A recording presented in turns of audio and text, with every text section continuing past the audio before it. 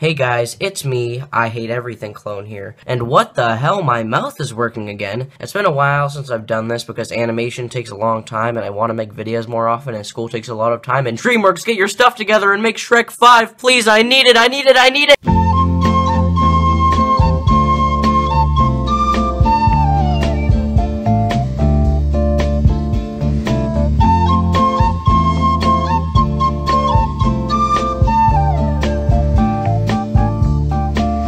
Wow, animation here on the Turkey Tom channel. What is this witchcraft? The reason I haven't been doing a lot of animated videos is because they take a very long time to make, time which I really don't have. The way I see it, I could make three or four semi-animated videos a month with some drawings and things like that, but also having clips of movies and things I'm talking about, or I could make one animated video a month. And I don't think one video a month is enough. I'm not done doing animation here or anything, as you can see I'm still doing it. I just wanted to take a small break to reform my style and to focus on school. I'll try to make a few animated videos a month if I can, but no guarantees. You may have also noticed that my thumbnails look different now. I used to commission graphic artists like Metro Retro to do my thumbnails, which don't get me wrong, he did a great job, better than my new thumbnails, but I figured I should stop being lazy and make my own as a part of creating my own internet brand and theme. But still, go watch Metro's channel, he's great. Additionally, I plan on making some movie reviews in the future. I watch a lot of them from people like Your Movie Sucks, Ralph the Movie Maker, and Quentin Reviews, and I think that I'd be pretty good at it.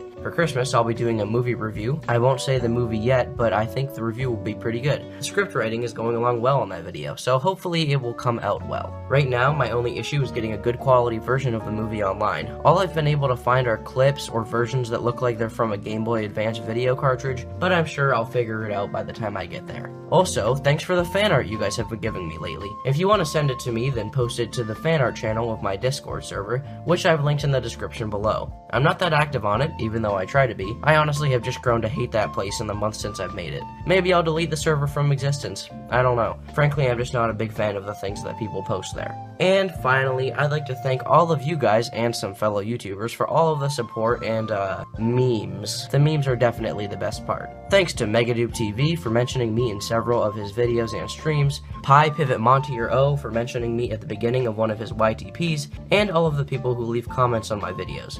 It's really appreciated. Turkey Tom, out.